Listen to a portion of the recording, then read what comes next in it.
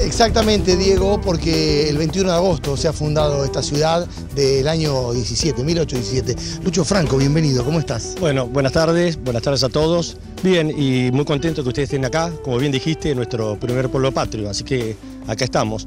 Este pueblo se fundó, como ya contaste cuando empezó el programa, se fundó en el 1817, un año después de nuestra independencia, porque en realidad eh, del Salado para esta zona, todo para el sur, había algunas estancias, la idea era que había algunos estancieros y había pueblos aborígenes que en ese momento estaban acá los indios pampas, que trabajaban con, esta, con estos estancieros, pero empezaron a recibir, eh, que ellos eran bastante pacíficos, te cuento, que esa era la historia con ellos, pero empezaron a recibir algunos eh, grupos de, otros aborígenes que venían del sur, más del sur, como los mapuches, los araucanos, que empezaron a a, guerrear en esta zona.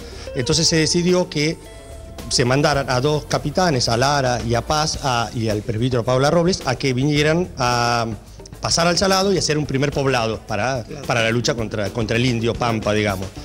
Así que en el 1817 se crea esta ciudad, se arma un pobladito, poblado muy chiquito, de chapa, era un rancherío, era una, iglesia y un par de casas, y empieza acá la avanzada contra, contra los indios, contra el indio, digamos, contra el indio Pampa, que era que estaba... Eh, la, historia cuenta que un gaucho que era capataz de una estancia, que se llamaba Salinas, Luis Salinas, cuando vio toda esa matanza, cuando vio todo esa, ese problema que había, se escapó y se retiró hacia, más al sur y armó, o sea, armó a los otros indígenas que estaban en el sur y, y ellos después vinieron y como bien dijiste, en el 21 arrasaron la ciudad. Claro comandados por este gaucho. Exactamente, Luis Molina se llamaba el gaucho, que era el capataz de una de las estancias de estos terratenientes que estaban en esta zona. Rebelde contra los terratenientes. Exactamente, contra los terratenientes y más contra Paz y Lara, que eran los... Matanzas. Claro, rebelde contra eso en realidad. Eh, cuando llegaron, llegaron, a la ciudad, eh, quemaron el poblado un poco y dejaron algunas casas y, se y raptaron a algunas mujeres, entre ellos la mujer de, la mujer de Lara.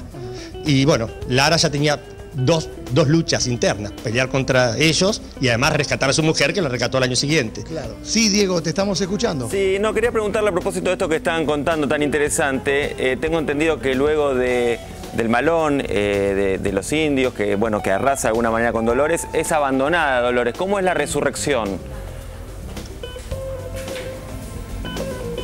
Exactamente. Eh, queman, eran todos poblados, eran poblados, eran chaperíos, eran un rancherío que se prendió fuego y quedaron algunos pocos, entre ellos quedó eh, Lara, que, el capitán Lara, que en realidad este, este malón se llevó a su mujer y a siete de sus integrantes de la familia.